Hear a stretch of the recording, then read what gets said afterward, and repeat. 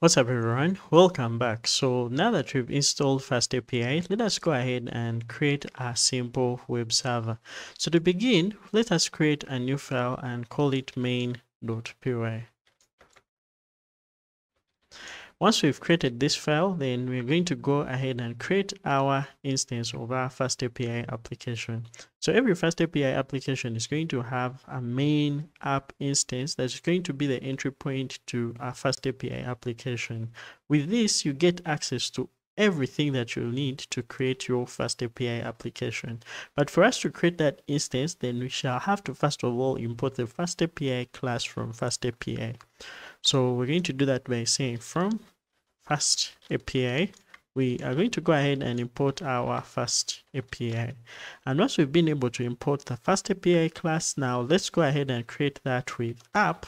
So app is going to be a variable, but this is going to be pointing to the FastAPI instance or object. Once we've created that, then we can pretty much get access to everything that we need if we want to create uh, middleware, if we want to create routes, if we want to access HTTP methods, all of those are going to be present within this app variable we've created. So let us go ahead and create our first API endpoint or API path. So an API endpoint is the path on which you're going to make a request if we are to expect the response from this web server. So to do that, we're going to go ahead and use at app, then we shall access a specific method such as get or post or patch or put or delete or any other HTTP method. So these are the methods you can access on the app instance, but what we want to do is to get access to an HTTP method. In this case, we are going to say get, and this is going to require us to provide the path that we want to use that get method on. So in this case, we're going to provide the root path. And once we provide the root path, now let us define a function that's going to be triggered when we access that specific path.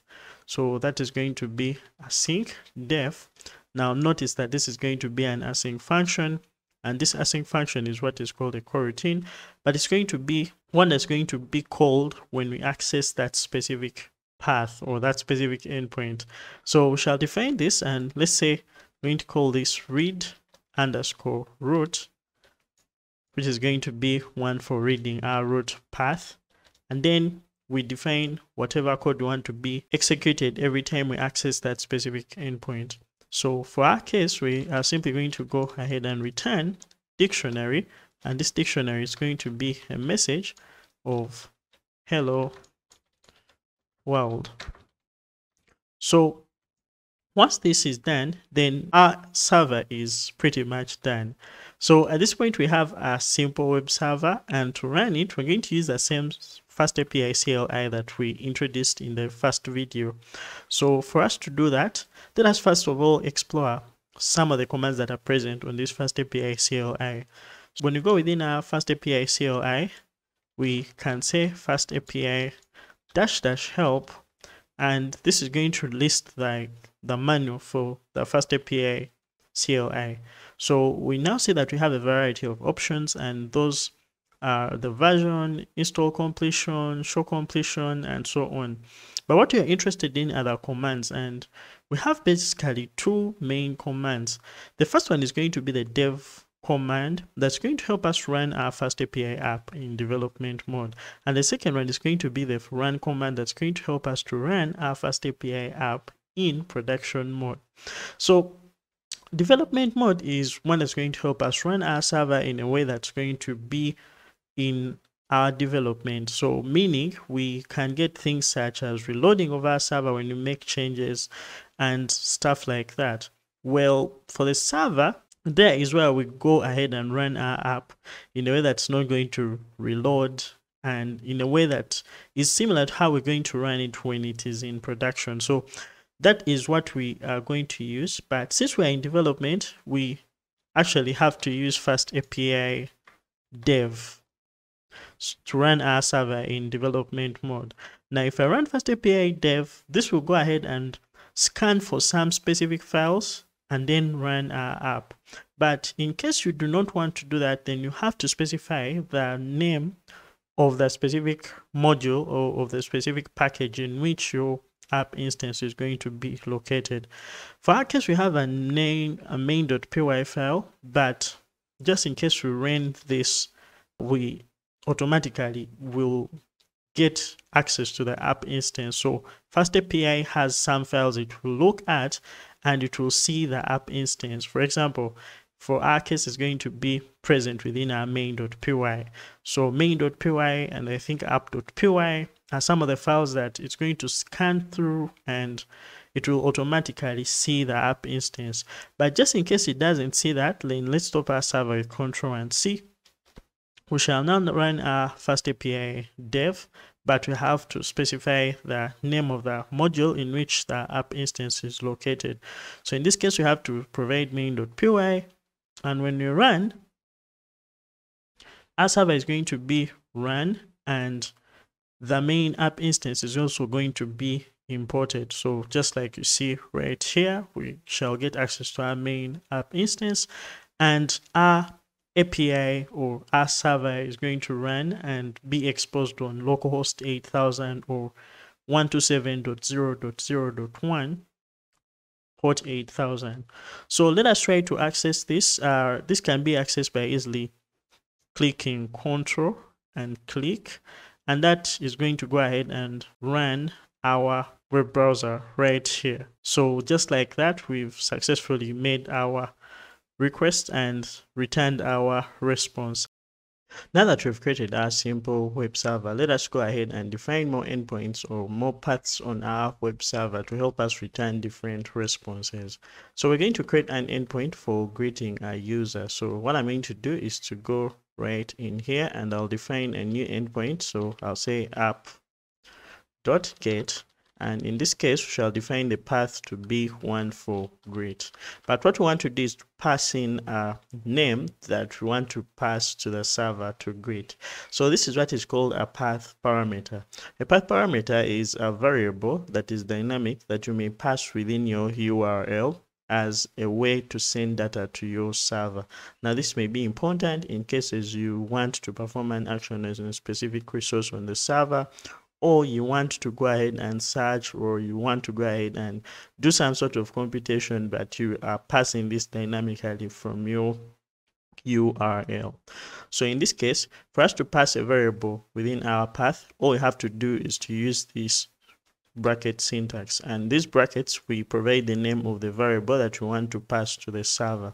And in this case we want to pass a name to the server through our url so once we've been able to do that now let's go ahead and define a function that's going to handle this request so we're going to say async def and this is going to be the greet name function so this is going to take in a name and with FastAPI we can define the type of that specific variable that you want to pass within this path handler function. So you need to specify that this is going to be a string and you can also specify the return type that is going to be returned with this request. So in this case, we want to return our JSON, which is going to be a dictionary. Once that is done, now let's go ahead and return the greeting to the user. So we shall simply do what we have done right here. But in this case, our message is going to be greeting the dynamic user that has been passed in the URL, which is our name. So we're going to have a message and I'm going to use f strings. So this is going to be hello. And right here, we shall provide world or the name. So we shall provide the specific name that we are trying to greet. So if you have noticed, we have been making our requests using our browser. So if you go right to where we make this specific request, we can say 127.0.0.1 slash greet. And in this case, if we try to make this request, we shall see that it's not found. This is not found because it will require us to provide the name that we want to go ahead and pass the greeting to. Now, when you go right here and we say slash greet slash, let's say Jonathan, in this case, we shall see that this is returning Jonathan. So for now, we are using our browser as our HTTP client to help us make requests to our server. And with this, we can pretty much do any sort of GET request that you may want to pass to the server. But in a real world scenario, we may want to use an HTTP client that is going to make it easy for us to make these requests with the different HTTP methods. And that is where we are going to choose a client.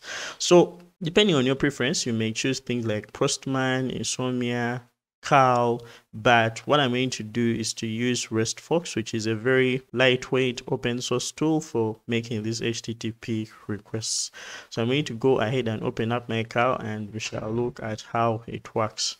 Alright, so this is my new RESTFOX window and in RESTFOX we simply have this minimalistic window and in there all we have to first do is to create a workspace. So we can go to the add workspace part. And when we create a new workspace we have to provide the workspace's name. So let me just call this our first API series. So a workspace is simply where we're going to create our requests. And in there we can choose the type of workspace. So i'm going to keep it to the default. We can choose a path where we want that workspace to be. So i'll just go ahead and select where i want that to be on our system and that will go ahead and create that in our new folder so when I go ahead and create, we shall have our new workspace created right here. Now inside our workspace is where we can go ahead and create multiple requests. We can also group them into folders and stuff like that. So on this plus button right here, we have options for creating a new request. That's an HTTP request. If we are creating one on a new socket, we can create one for a WebSocket request. We can create a new folder and we can also import other requests. So let us begin by creating a new request. So we're going to call this the one for hello world. So I'm going to go ahead and click create. And once that is done, now all we need to do is to go ahead and specify which URL we want to make that request to. Now I'll paste what we have as our localhost 8000 and send, and that will go ahead and make the request and return the response just like you see right here. Now the beauty about this is we can specify the request body. If we are giving any query parameters, we can also do it right here. We can specify any headers we want to send with the request, any authentication, and so on.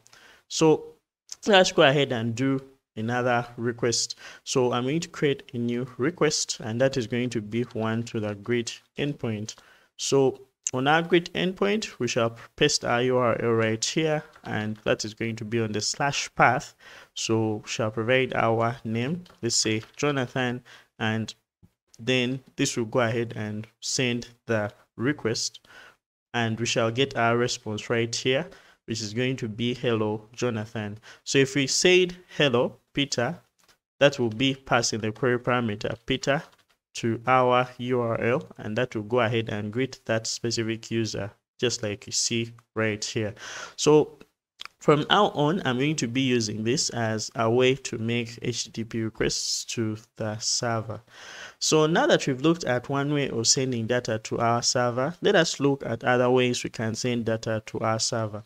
For now, we've been able to look at only path parameters, which allow us to pass a variable or pass any input via our URL.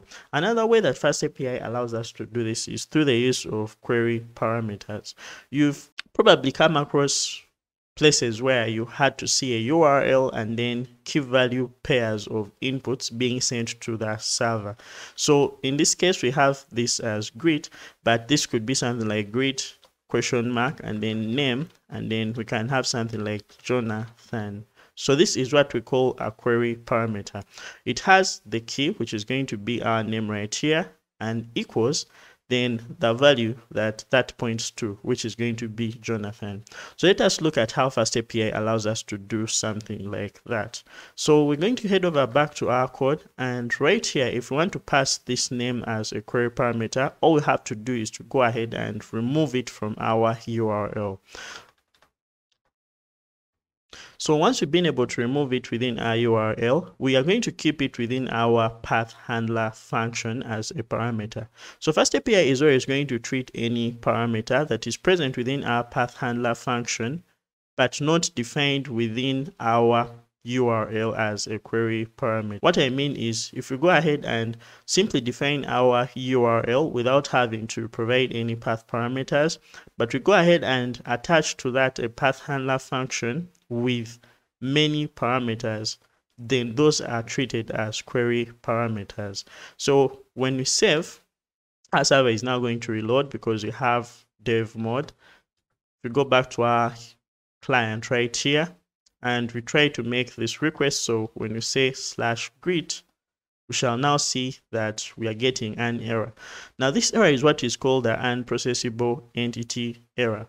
And what this does is to help us show validation errors that are being returned from FastAPI.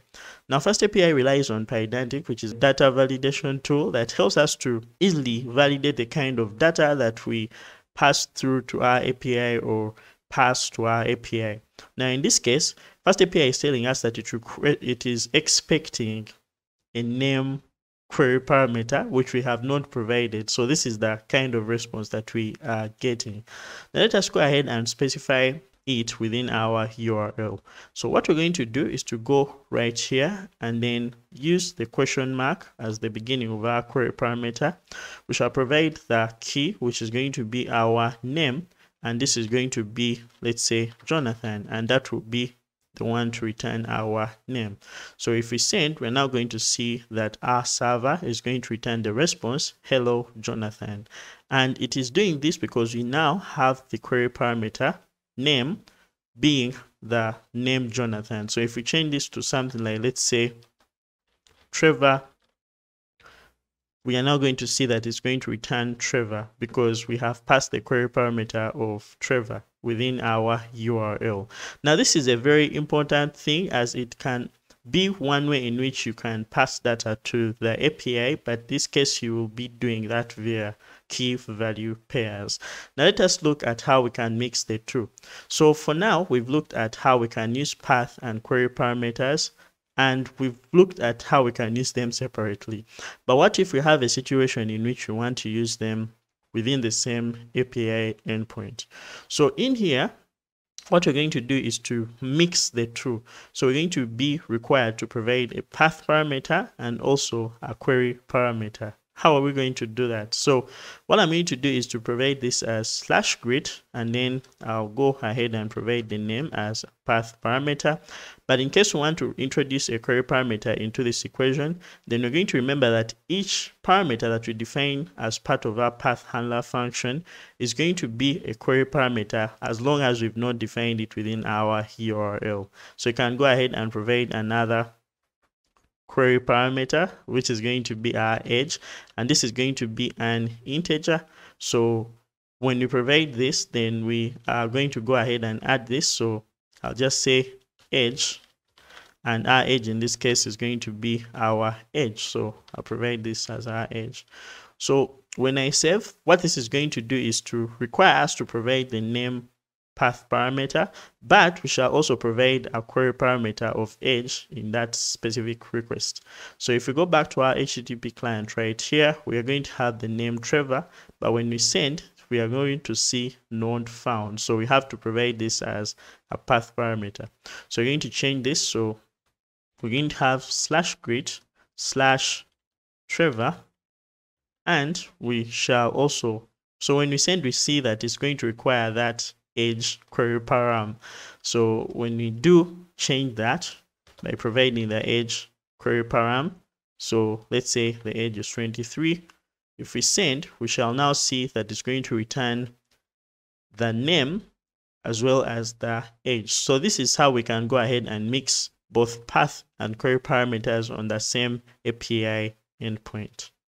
Now that we've looked at how we can mix both path and query parameters, let us look at how we can make query parameters optional.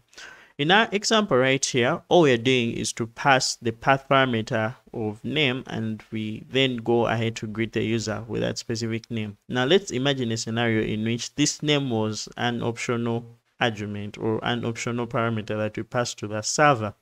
Now, removing it from the URL is going to make it a query parameter just like you see right here. But let's say we wanted to have a default value for the name that will be greeted just in case we do not have a name specified. Now this is where optional query parameters come in. To make our name parameter optional, we're going to make use of a special class called the optional class that comes from Python's inbuilt typing module. Now, FastAPI allows for many inbuilt data types such as string, int, dict, and so on to be passed as parameters. But with it also, it allows those that come from the inbuilt Python typing module. And we're going to look at how we can use most of those classes. So to begin, we're going to go ahead and import the optional class from typing. So shall just come right here at the top and say from typing we are going to go ahead and import the optional class. And once we've got the optional class, now what we have here is a mandatory query parameter. To make this optional, all we have to do is to go ahead and pass it within our optional class. So we're going to rewrite this by saying that our name is going to be an optional string and this is going to now have a default value. So to provide the default value to our string, all we're going to do is to go ahead and provide an equal sign then we provide the default name that we're going to use for that specific name parameter. So we're going to provide user as the name. And what this will do is to go ahead and use the name user in case we haven't specified the query parameter for name. Now notice that we are having an error here and this is happening because the age should also have uh, to be fast before this keyword parameter. So for us to fix that, we can also make sure that the name or the age has a default value. So we can provide the default value being equal to zero. And what this means right here is the age is going to have a default value of zero in case we do not provide one. And our optional name is going to have the value for user in case we do not have to provide the default value. So I'm going to format this so that it looks a little bit better. So I'm using black and what we have here is our formatted code, but it is much more easier to read. So we have an optional name parameter with a default value of user and an optional age or a query parameter of age, but it has a value of zero. So if we go ahead and save and head over back to our client right here, if we make this request, we shall see detail not found. Now keep in mind that in this case, we do not have query param or path parameters. We do not have a path parameter for that name. So if we go ahead and say slash greet, in this case, it's going to return hello user because we have a default value of the name as user and we also have our age as zero therefore it will return age as zero. But in case we go ahead and provide this so we can go ahead and say user or actually that is going to be our name just like we see right here. So if we go ahead and say name uh, we can provide our name let's say Jonah and then that will go ahead and say not found because uh, we have name Jonah this is going to be a query param sorry for this so I have to provide the question mark right here so if we send this we are now going to see that it's going to return our name that is provided but just in case we leave out the name it's going to return user so when you provide the name, it's going to return that name query parameter. But in case we leave it out, then it refer to the default value of our user. So let us also provide the age. So to provide the age, I'll just use the ampersand and age. Then let's say age is equal to 23. So that will go ahead and return the age that we have specified within our query parameters. And just like that, we can be able to send optional values for query parameters just like we have done. At this point, we've only looked at how we can pass data to our server using path and query parameters. We've also looked at how we can mix the two and how we can make them optional. But we are also going to have scenarios in which we have to send data to the server to create resources or to perform some action on the back end. And this is where the request body comes in. Now, the request body is a way we send data to the server that is going to be used and validated in some way. So let us look at how we can be able to do that.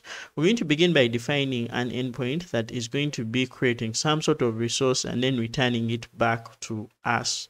So to do that, we're going to first of all begin by specifying that we're going to make a post request, but keep in mind that a post request is not the only request that may send data to the server. We may also have a post request that's going to update something on the server. So when we do this, so we are just simply going to say create or let's say book. Once that is done, we shall define the handler for this function. So we shall say async def, and in this case, we shall create book so let us go ahead and pass this for now. So what we've done is to create the path, which is create book, and we are only going to access this via a post request. Once we've been able to do that, we have defined a function that's going to handle that specific request. Now, one thing that we need to understand is when making a post request or any sort of request that involves sending data to the server, then we are going to need some way of validating this data. So to validate the data, we are going to create what is a serialization model. So a serialization model is one that's going to help us to change data from the database or change data from our server into something that any client that makes a request to our server can understand. It can also be the reverse where we are actually getting data from a client and then sending that data to the server or making that data be in a form that the server can understand. For our case, what we're going to do is to create a model and that model is one that's going to help us to send data from our client, validate whether that data is correct data, and throw any validation errors in case we have some. So to create a Pydantic model, we are going to begin by importing the base model class. And once we've been able to do that, then all we're going to do is to begin by creating a class and this class is one that's going to define the data or the fields of the data that we want to send from our client to our server and vice versa. So we're going to create this and let's just call it the book create model. So this book create model is going to be a subclass or it's going to inherit from the base model class. And once it has been once we have been able to create this class, then we're going to define the fields that are going to exist on our book. So we're going to have simple fields such as the title of the book, and this is going to be a string. So we have to define the string using type hints. So the syntax is just the field and then colon then the type of that specific field. So in this case we shall specify that this is going to be a string. We can also have the author of the book and this author is going to be a string. So once we have this then this is just enough for us to define how we're going to send data to the server on our post request. So to be able to do that, then all we have to do is to go within our create book handler function and then pass that as our data. So we're going to define this as our book create data, or let's just say this is going to be our book data. It's the data that we're going to expect for this request.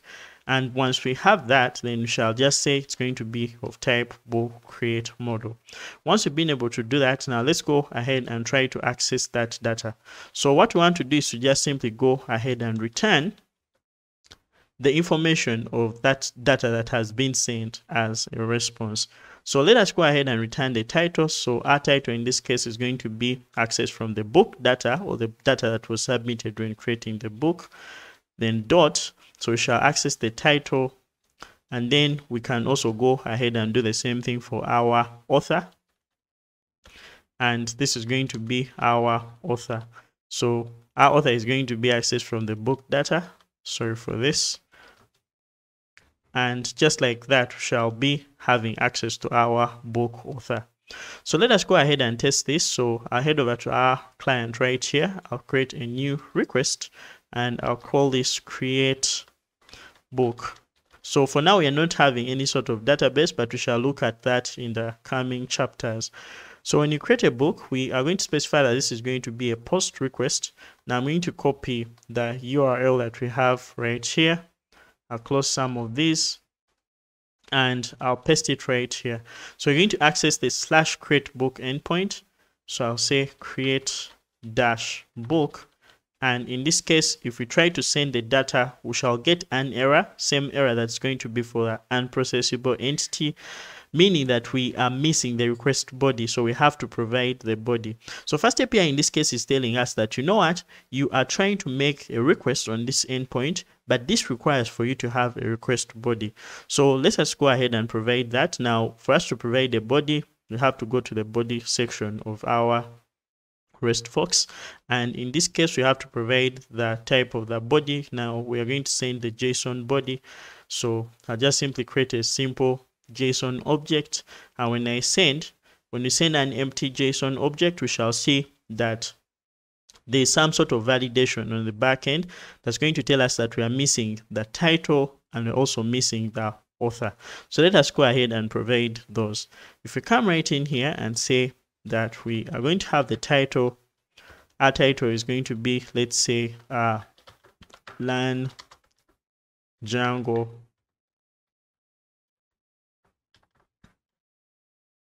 and our author is going to be Ssali Jonathan.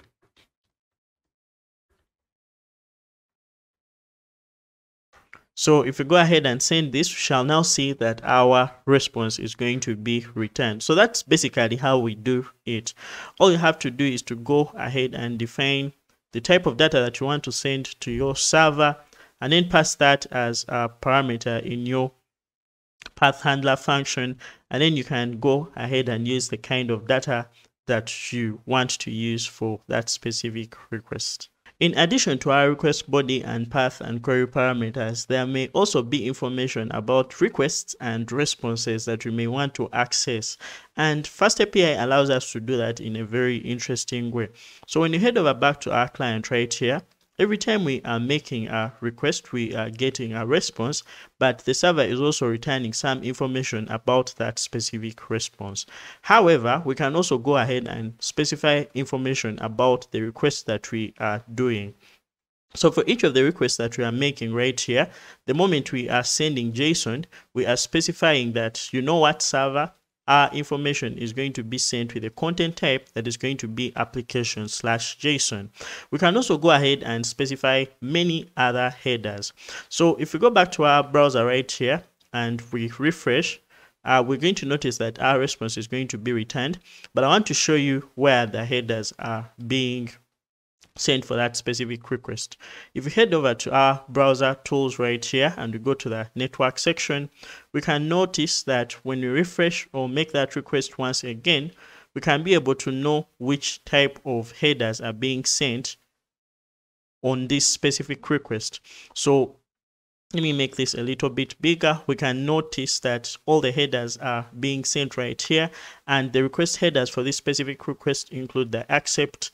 So this is going to basically accept anything with text slash HTML because this is returning an HTML page with this JSON, uh, accept encoding. So this is the particular encoding, which is gzip and so on. The host, which is our local host 8000, the user agent, which is the specific browser that has made this request. Now, in our case, this is going to be this specific browser right here. So all these headers can be accessed using FastAPI and let us look at how we can be able to do that. Now, for us to access our headers, we are going to create an API endpoint that is going to simply return all these headers for a specific request. Now, when you go back here, we're going to create a request. So let's just say slash, and I'll just say this is going to be slash get headers.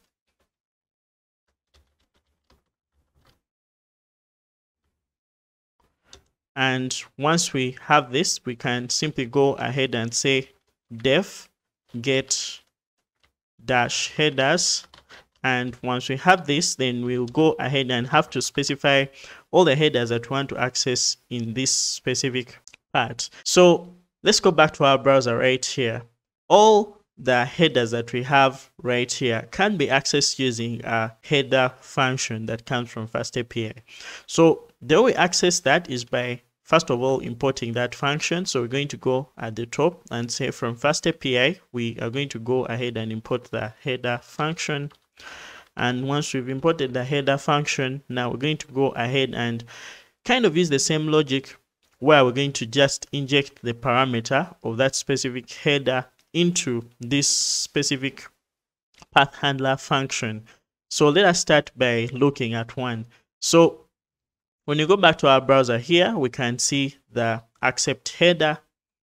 And this is one that we can access by using the lowercase accept. So when we say accept, uh, this is going to stand for the accept header in our request. For us to access this, we can just simply say it's going to be a header and it's going to have a default value of none. So what you have here is this is going to be a string, but this string is going to be a header. And in case this header does not exist, then our request is going to return none. So each of the headers that we can have for a request can be accessed using the lowercase of that name. So in this case, this is going to be our accept header but we shall access it using the lowercase accept. So when you try to return this, we can say return, or let's just say we can create a request headers dictionary, and we are going to go ahead and set each value with the value of that specific header. So we can now say request headers, and in this case, this is going to be our accept header and our accept header will have the value of the accept header that we get from our request.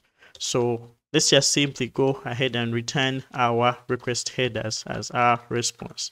So if we try to do this, we can go back to our client right here. And in our client, we are going to create a new request that is going to be for get headers and once we've been able to do that, let us go ahead and provide our URL. So I'm just simply going to get copy that, I'll close that. Then we are going to go to localhost 8000 slash get headers. And when we send, in this case, we are going to see that this is going to be one to get all content types. So this is going to be accept and then it's going to return the value of that. So let us see the kind of content type that we have for this specific request. If we go back to our endpoint right here, all we have to do is to just inject that as a parameter. So we're just going to say content underscore type, and this is going to still be a string, and we shall access this as our header. So if we come right here and provide this as our header, we shall save and also set that as part of our request headers dictionary. So we shall just come and say this is going to be our content type. Sorry for this.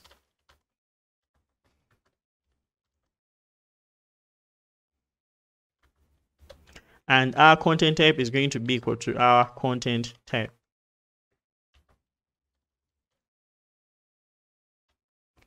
So once we've been able to set that up, now let's go ahead and make that request. And now we see that our content type is going to be now. So when you check the headers for this request, we do not see any type of content type being specified. So if we go ahead and add our content type,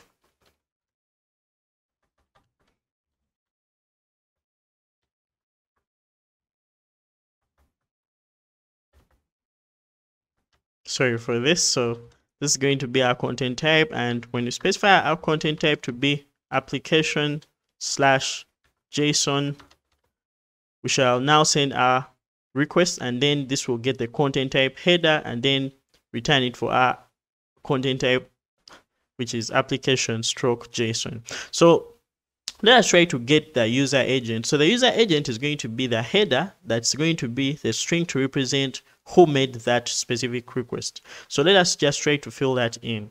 If we come right here and say that we are going to get the user underscore agent, so this is going to be the string and this will be the header shall be none so when you try to do the same thing we shall just set the key to be our user agent. And the value of this is going to be the user agent. So let's just set that up. Let's also do the same thing for the host. So the host is going to be a string and this string is also going to be the same thing header and this will be none so we're going to do the same thing here we shall just say request headers and in this case we shall specify our host and our host is going to be equal to our host. So when you try to make this request once again, we shall now notice that it's going to return the user agent, which is going to be this client, which is RESTFOX. And if we return the host, it's going to return our host, which is localhost 8000. So for now, we've seen how we can access the headers that are for this specific request. And we have so far looked at how we can set up a simple web server, we can pass path and query parameters, and now we can also get our request headers. We can also specify the specific status codes that are to be returned by a certain API endpoint. The way we do that is by going where we are specifying our request. So just in case we wanted to customize this, we can say that this is going to return a status code and then we can specify which specific status code. Now in our case, this can be 200. So if I send, this is going to return 200. But in case we wanted to, let's say, change this to, let's say, 201, then when you send this, it's going to return 201 created, meaning that our resource has been created on our website. If we wanted to customize it to make it, let's say, a 500 error, still that's what is going to happen. It's going to return a 500 internal server error. So I hope you get the entire idea. And this is how we create a simple web server using FastAPI. So we've looked at how we can create a simple web server. We've looked at how we can run our server. We've also looked at different concepts such as path, query parameters, how we can make them optional, and how we can also access the headers for a specific request we've made to a specific API endpoint. I hope you've enjoyed and learned from this video and if you've done so, please consider supporting the channel by clicking the like button and sharing this video with whoever may find it helpful. Do not forget to subscribe to the channel if you're new. And in case you want to donate to the channel, I have a buy me a coffee link in the description and also I have a Patreon on which I'm going to be releasing some of these videos.